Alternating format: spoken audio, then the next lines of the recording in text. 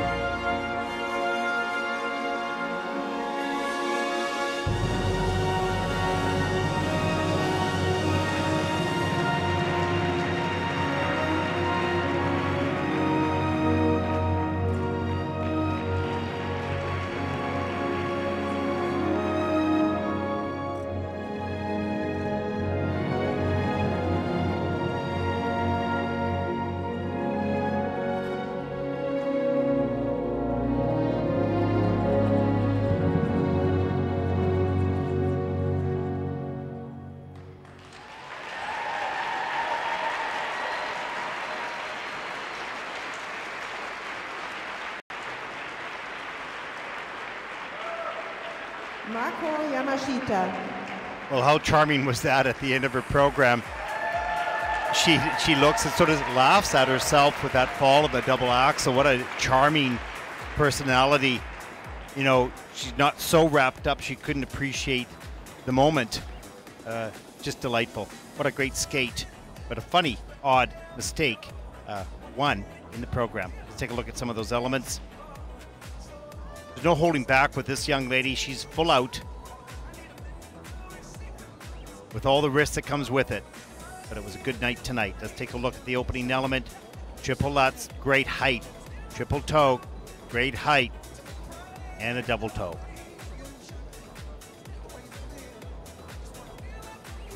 There's a triple flip. Again, great height and speed in and out of the jump. Carries their speed and momentum through the takeoff into the air. Right onto the landing. Good fight there to keep solidly over her. Now here's a triple Lutz. Look at the height on that triple toe. Now this was under rotated on the screen, but that's the only element of the triple loop also. Here's that double axel cut, her pick caught the ice before she lifted off. But really didn't bother her much. She got back into the program. Here's a look at the spread eagle near the end. Triple loop,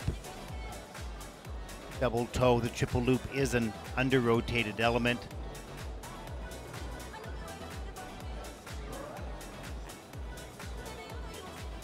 Nice camel position.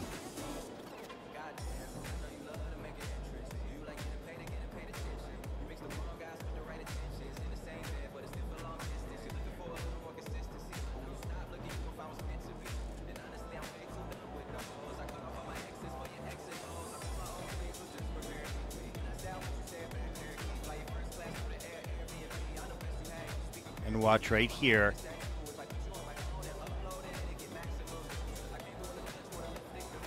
There, right there. She goes, oh my gosh, what did I do on that double axel? Great job. Ich darf um die Wertung bitten. The scores, please, for Mako Yamashita from Japan. Reprogram scores Sie erreicht in der Kür eine Punktzahl von 116.55 in the free program. That currently is second in the free. Overall competition score of 181.04. Mako currently is in second with one.